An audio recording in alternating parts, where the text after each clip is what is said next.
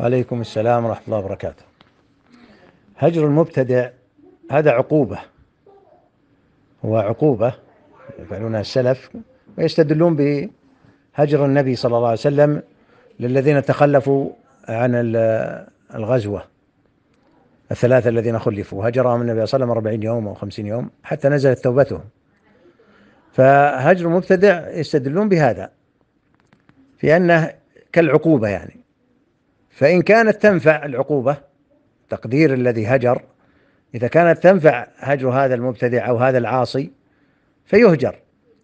أما إذا كان هجره يزيده طغيانا مثل هجر العاصي يزيده طغيانا فلا يوعظ ولا يهجر حتى لا يزداد. فهنا يتعلق بالمصلحة والمفسدة.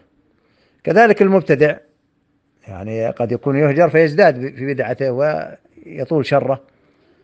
لكنها إذا كان يناصح ويكلم وكذا ويجلس معه ويهدى إليه مثلا ويحاول أن ينصح كان أولى إذا كان أنفع.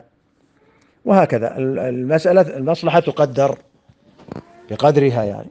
فينظر الأصلح وإذا كان هناك مفسدة في عدم الهجر فيكون الهجر أفضل.